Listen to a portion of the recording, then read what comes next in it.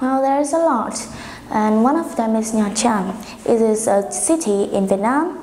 and it's mainly um, famous for the beautiful beaches. Uh, well, that's what I think, but it's actually famous for the people and the beautiful view too. In there, you can see that it's almost the um, clean and greenest city in Vietnam. also, the people there are very friendly. They are very welcome to all the tourists that come to the city.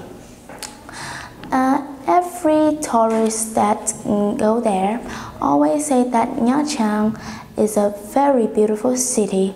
The view of them of, of the city is very beautiful too. If you can see when you're in a hotel, um, look up far, you can see the, all the beautiful beaches. Um, it's also famous for um, the. it's also famous for the. Mm, it's also famous for the um, what I say?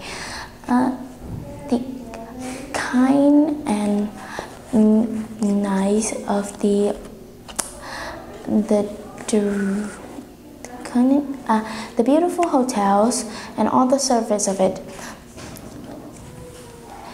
It is not.